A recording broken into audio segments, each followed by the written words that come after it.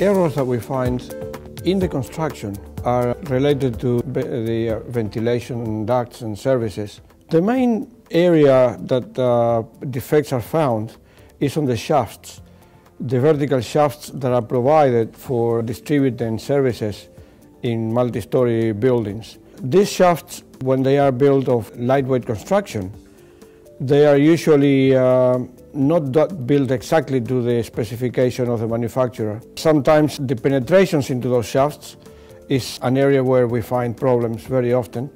For example, if there is a duct penetrating, entering into a shaft, a fire damper has to be provided. If there is a plastic pipe penetrating into the shaft, a fire collar has to be provided.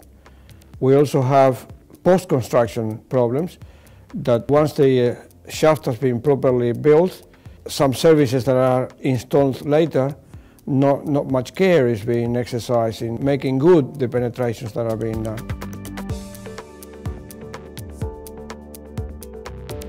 Active fire protection is something that changes its mode when there is a fire, whereas a passive fire protection is always there.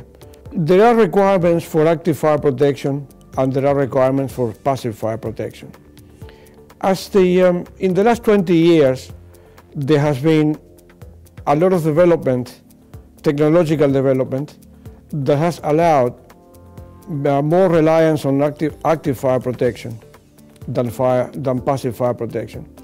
Traditionally, when fires used to be very large, the passive fire protection is really the, the ultimate defense. Now, we try to keep the fires smaller in size.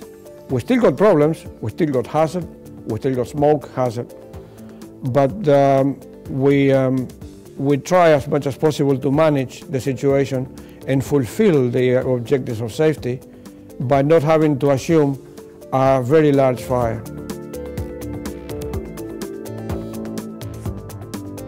It has been the case that uh, when large fires occur in buildings under construction, it is usually the accumulation of uh, combustible materials far beyond the ultimate design of the building or the, the final design of the building.